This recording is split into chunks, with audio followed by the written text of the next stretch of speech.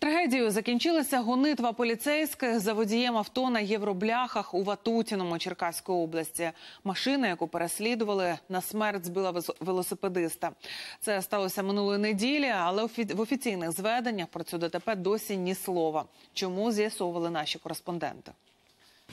Тремтячими руками Микола збирає з асфальту фрагменти срібного ланцюжка свого батька.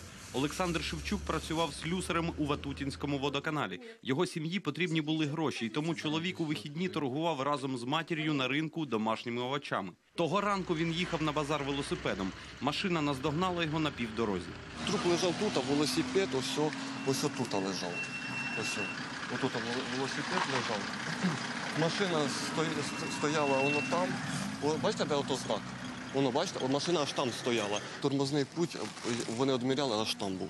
Тут нема, то не було тормозного путі. У машині, яка збила велосипедиста, їхали чоловік і жінка. Хто з них керував автомобілем, поки що невідомо. Аварія сталася близько п'ятої години ранку, тому очевидців було небагато. Протягом години після ДТП поліцейські оглянули пару і відвезли у відділок. За словами місцевих жителів, і водій, і пасажир були на підпитку. Два, блін, і вісім проміля в крові. Мент. Цю каже, ого, два і вісім пиши. Можливого водія іномарки Віталія Білика затримали відразу. Наталя пасажирка автомобіля. Того, що її співмешканець сів за кермо п'яним, жінка не заперечує. Запевняє, навіть намагалася його відговорити, але потім заснула на пасажирському сидінні. Прокинулася від удару. За нами гналася поліція. Це я вже узнала у поліції, бо я спала. Я не знаю. Я не знаю, я просто заснула. І машина їхала по виклику і побачила, що машина неправильно їде. За правилами поліцейські під час переслідування зобов'язані включати сирену і проблискові маячки, щоб убезпечити навколишніх. Чи були вони, Наталя не пам'ятає, міцно спала.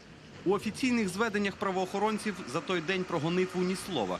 Від коментарів з цього приводу керівництво Звенигородського відділення поліції теж відмовилося. Я не хочу розповсюджувати на даний час цю інформацію. Це, я вважаю, є на даному етапі є таємницею досудового розслідування.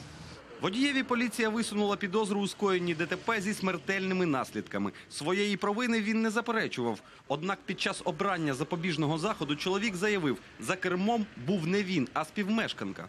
Ми будемо стежити за розвитком ситуації і ходом слідства. Андрій Кравець, Станіслав Кухарчук, Павло Тимошенко. Новини телеканал Інтер. Черкаська область.